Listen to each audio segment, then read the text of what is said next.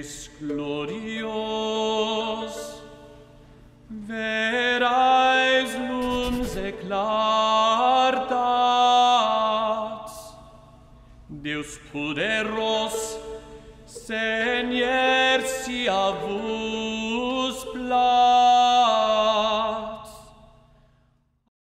Everybody. My name is Meredith Ruduski, and welcome to Fresh Take Music History Reimagined, brought to you by Texas Early Music Project. And joining me in this epic adventure is the one and only, everyone's favorite radio host, Enchantress of the Airwaves, host of Rideshare and Early Music Now on KMFA 89.5 in Austin, Texas, Sara Schneider.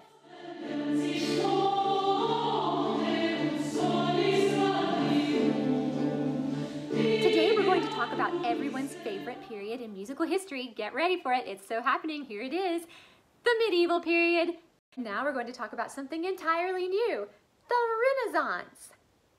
The trend of complexity and the variety in polyphony gave way to the third and final part of our study, the Baroque period. It's gonna get awesome!